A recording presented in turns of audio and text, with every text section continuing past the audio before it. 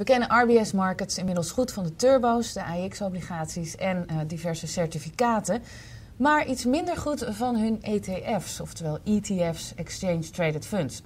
Daarover ga ik praten met Rogier Sangiorgi. Uh, je werkt bij uh, RBS Markets. Welkom. Goedemorgen. Ja, jullie hebben ze wel, hè, die ETF's? Ja, klopt. Sinds 2006. Initieel richten we ons op uh, de professionele belegger. Maar tegenwoordig is er steeds meer interesse van particuliere beleggers voor indexbeleggen. Dus nu doen we dat. En wat zijn ETF's?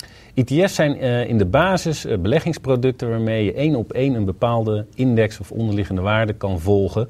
Uh, en daarbij als kenmerk hebt dat er een, een lage kostenstructuur is en dividenden en dergelijke automatisch worden herbelegd. Ja, jullie bieden ETF's aan op uh, zeer specifieke gebieden of thema's, begrijp ik. Welke ja. zijn dat? Dat klopt. Uh, wij willen onderscheid maken door alleen die ETF's te brengen die iets toegevoegd bieden voor particuliere beleggers.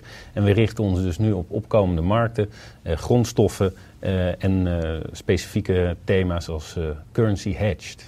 En hoe, hoe is dat assortiment aan ETF's bij RBS dan, uh, dan opgebouwd? Wat, zit er allemaal in?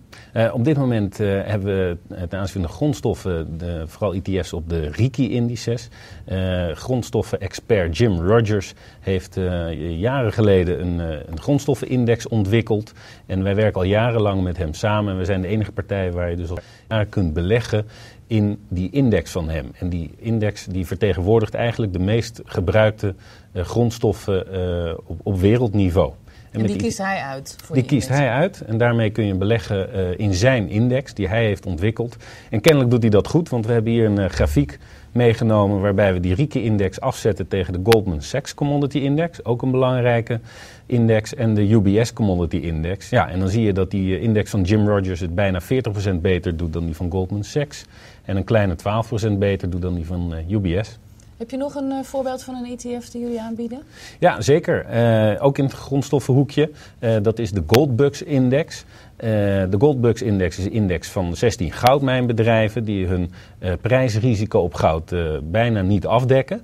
Als gevolg daarvan kun je dus profiteren van de stijgende goudprijzen. Maar in periodes dat aandelen het goed doen, zie je dat dit soort bedrijven het ook goed doen. Nou, ook daar hebben we een grafiekje van meegenomen.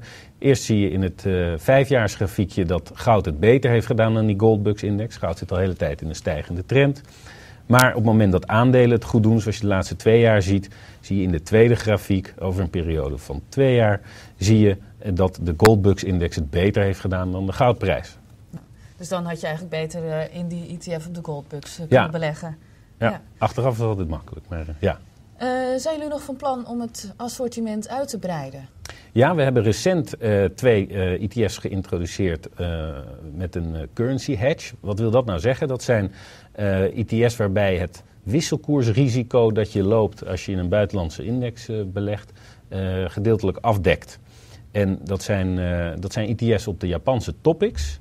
Uh, en de Amerikaanse SP 500-index. Dus als je nou vast bent op beleggen in de aandelen van Japanse bedrijven, maar niet zo'n vertrouwen hebt in de yen, zeker na aanleiding van al die gebeurtenissen nu in Japan, uh, dan kun je met zo'n ETF kun je, uh, beleggen zonder je zorgen te maken voor het risico. Mochten beleggers nou uh, ETF's willen kopen, moeten ze dan speciaal naar RBS om ze daar te kopen?